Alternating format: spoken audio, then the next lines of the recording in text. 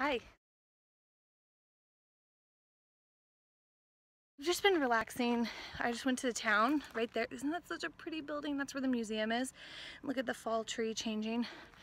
Um, you can get internet and check your phone and social media. So I just went and did that. So behind me, that's the town. And then when you walk up over here, these are all the cabins. I'll turn the camera around and show you. So there's the town. You come up from the town. And there's the first cabin. That's the worst cabin because it's in the sun, no trees, yucky.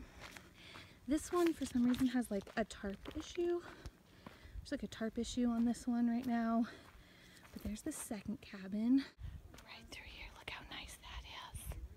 This is our campsite. it's me. a monster. In town, checking my social media. We're going gold panning. Got the pans. I was flipping you off. Were you? Oh, well, I was recording you reading that, so. I don't care if my legs get wet. Nah. Fool's gold? No, I think it's just a, Aww. it's a something. Pit or something? I don't know. This is the way you look for gold. if you find anything, eh. I'm squatting. I'm cupping a squat. Popping, not copying. And if you find something, you have to yell Eureka. Eureka? Eureka? Are you still recording? Here's the real gold.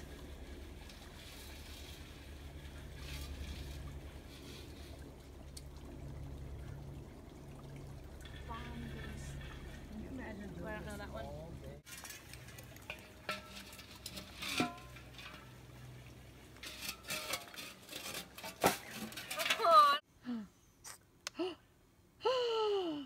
Magic.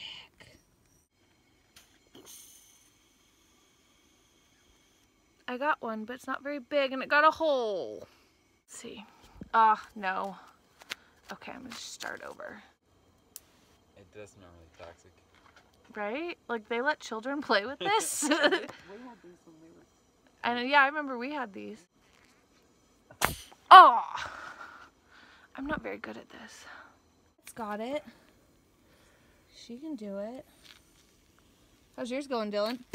First one popped a hole, so I tried Yeah, to put so more on it, but now this one's not even starting. But see, how come mine pop like that? Are you s- Yeah. I blow too hard. Yes. To I did it. Apparently they're highly flammable. So what else would we do but put them in our fire? I can't wait till we light that. All right, we're gonna light our bubbles up. See if they even really are super flammable. Oh, it's just melting them. Disappointed. Thanks for watching, guys. Yeah, the bubbles did nothing. They just basically wilted in the heat of the fire. Uh, check out yesterday's video, the one year ago, the two years ago, and the three years ago, and I will see you tomorrow. Bye!